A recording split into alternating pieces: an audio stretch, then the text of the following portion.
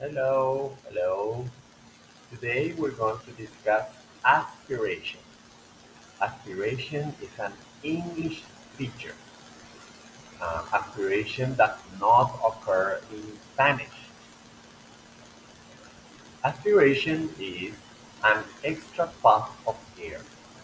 For example, when English speakers speak and they say pencil, pencil, a Spanish speaker would probably say pencil, pencil. So notice the P sound, the very first sound. Pencil, pencil, pencil. Notice that the P has extra here. That is what we call aspiration.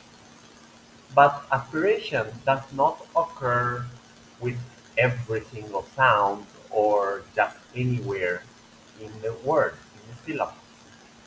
Eh, It follows certain phonological rules.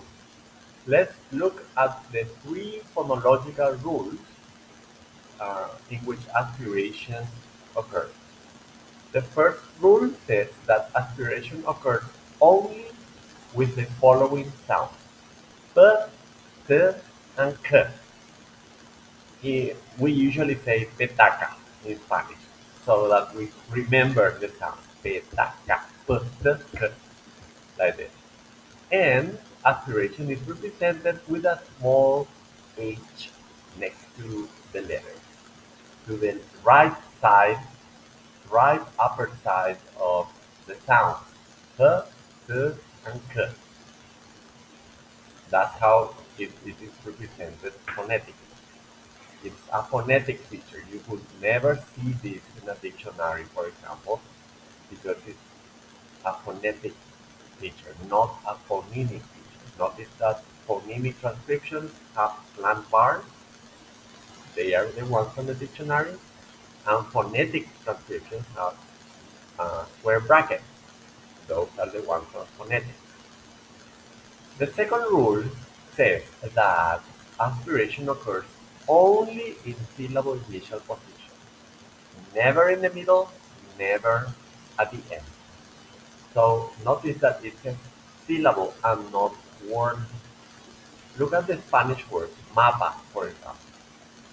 The P is in syllable initial position, mapa.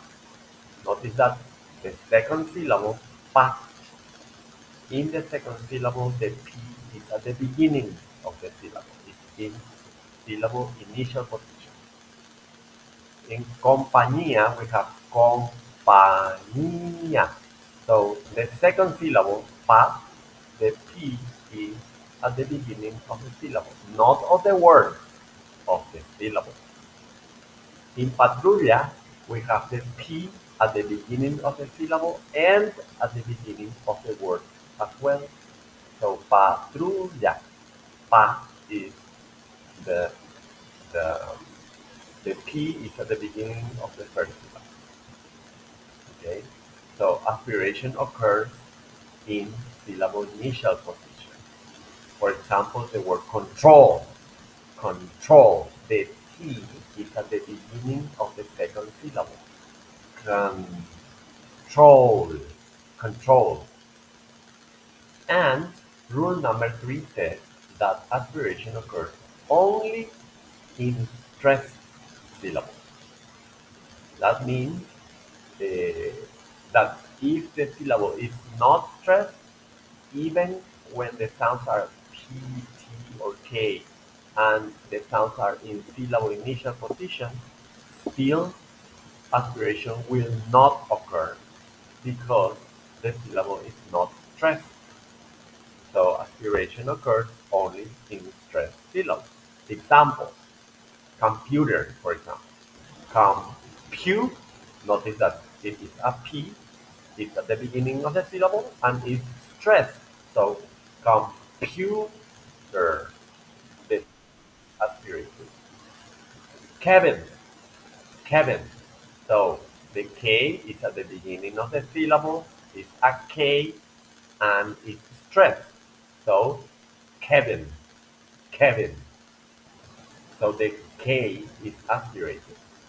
And encounter, encounter, the second syllable, the K is aspirated because it's a K, it's at the beginning of the syllable, and it's stressed.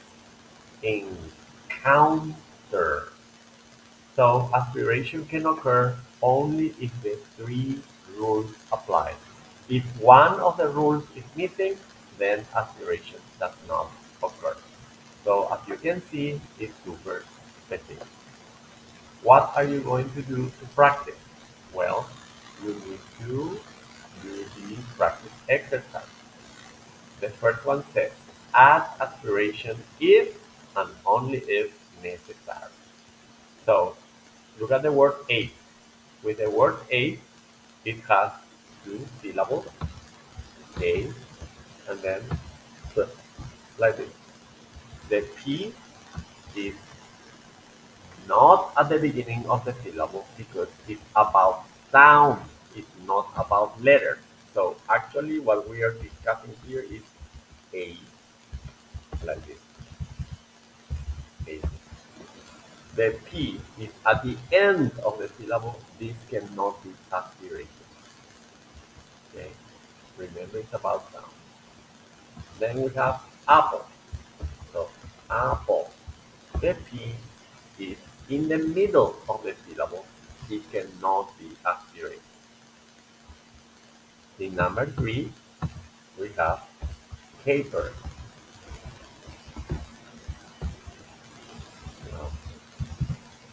Caper. Okay.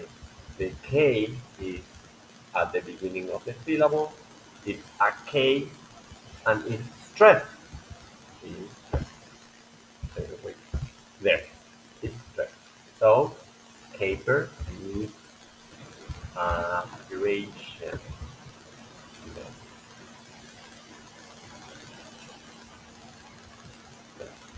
Caper. The same with copper uh, or copra. Notice that they are aspirated because they meet the three rules, the three phonological rules. So you have all these words, and then the second, uh, the second task is for you to read the word here, and then, then copy the word and add stress. What does it say? Add stress marks and aspiration convince, and then write the English word here. Convince. Okay. This does not need aspiration because the K is a K, is at the beginning of the syllable, but it's not stressed, so no aspiration. The second one, on the other hand, tricking. Tricking. The T is a T, is at the beginning of the syllable and is stressed, so aspiration occurs tricking. Like so this is your task. You have many words, you copy the word in the phonetic, transcription and then English. That's for you to practice. If you have questions, please let me know. That will be it then. Thank you.